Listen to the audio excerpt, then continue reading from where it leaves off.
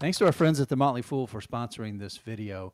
Check out the link below, fool.com forward slash the smattering, to get access to the 10 best stocks to buy right now. Shares of SoFi Technologies have started to recover from the big crash after Silicon Valley Bank was taken over by the FDIC, but they're still way down from their all time high. And investors are really tiptoeing around a lot of bank stocks right now, making sure they don't walk into a potential landmine. I'm Jason Hall. This is The Smattering. I've got Jeff Santoro with me. We're going to talk about SoFi Technologies right now, see if we can get to the bottom of whether or not this is a bank worth buying right now. So, Jason, I don't own SoFi, but I noticed it was really affected by all the news around Silicon Valley Bank. So, my first question for you is Is this a bank that potential investors should be worried about falling prey to the same issues that took down Silicon Valley Bank? I don't think there's the same kind of risk here, and the numbers tend to back it up. So, if you think about what happened with Silicon Valley Bank, it had this massive concentration of very similar deposit customers, right? All of these startups that were burning through cash VC funding had basically stopped for the past year. So all of these businesses with massive amounts of money that wasn't insured all got really worried because of the potential credit losses in Silicon Valley Bank's loan portfolio and they all ran for at the same time. They didn't even run. They just all grabbed their apps and and and hit the transfer button and wiped out the bank's deposits very quickly. SoFi is structured really differently because their deposit base is largely high yield consumer banking, people that are just saving money and they have their savings at SoFi and they're trying to get the best yield that they can. They're almost all below that $250,000 insured limit. So people aren't worried about losing their money if the bank gets in trouble and they're not trying to make payroll and constantly burning through it. So the deposit base is really secure in terms of the risk of some sort of a major panic sending a big run. Jeff, I think we also have to talk about the other side of it with Silicon Valley Bank that we saw and that was the loan portfolio that Silicon Valley Bank held. That's the thing that caused the run. So I want to talk a little bit about that because I tell you, I've been looking at a lot of bank 10Ks over the past week, and a ton of banks out there have lots of mortgages or mortgage backed securities on their books that they bought for loans that were issued in 2020, 2021, maybe even early 2022 at very low rates and they're just sitting there and they've lost a tremendous amount of um, market value.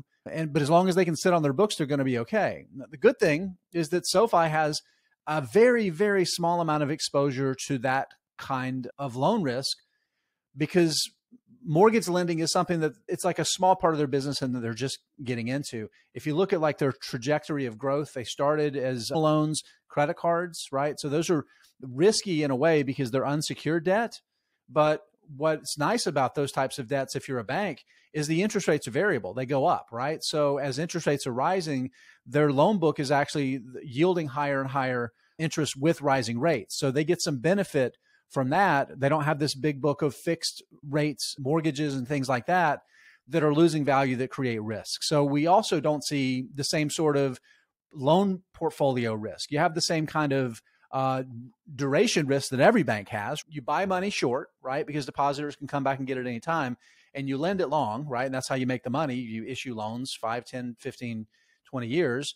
But if you look at the structure of its book of business on deposits and on the lending side, and it's pretty protected and it's actually benefiting from rising interest rates in a way that Silicon Valley Bank was basically undermined. So it sounds like a lot of the risks we saw with Silicon Valley Bank aren't big concerns in your mind with SoFi. And I think I know this about you. You just bought a bunch of SoFi. So what was it about it specifically that made you feel like it was a buy right now? I did. So there's a few things that I think make it really appealing to me. So number one, I I believe it's very well run. And as much as they're pouring tons and tons of money into customer acquisition and they are burning a lot of money as they try to build this bigger business, I think a lot of the characteristics of the tailwinds around interest rates, the way people are thinking about trying to capture yield on their cash is very favorable for them, right? So they're well run. They've structured a business that makes it really easy to capture those deposits quickly. And that puts them in a good position because of the kind of lending that they've prioritized and focused on. They benefit from rising interest rates. So you take those things together, and it's the kind of business that I think if you're looking at owning a bank makes sense.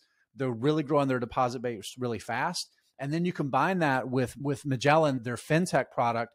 It's a really high quality product that's growing at a very, very rapid rate as they provide financial services to other fintechs. So it's a lot of value there.